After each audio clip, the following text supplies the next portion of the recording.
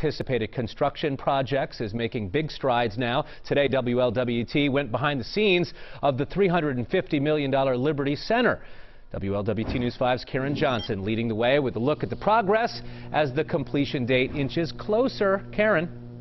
And mark your calendars, guys. Developers of Liberty Center tell me they are on schedule to open on October 8th. If you've driven by there lately, I'm sure you've seen all of the progress. The buildings are going up. Among some of those businesses moving in, Dillard's Brio, the Cheesecake Factory, Kona Grill, Pies and Pints, and Cinebistro. And as developers explained more in detail today, this isn't just a place to go to eat and shop. There will be a community house to host weddings and fundraisers, a town square where movies will be shown, and pop-up jet fountains for the kids. There is also a unique feature going up here at Liberty Center that you won't see at Steiner and Associates' other developments. It's basically a rooftop garden, and you can see there's big Spanish steps leading up there. It'd be a great area to uh, relax and have a cup of coffee and just kind of have a sense of discovery up there. And AC by Marriott is also building a 130-room hotel.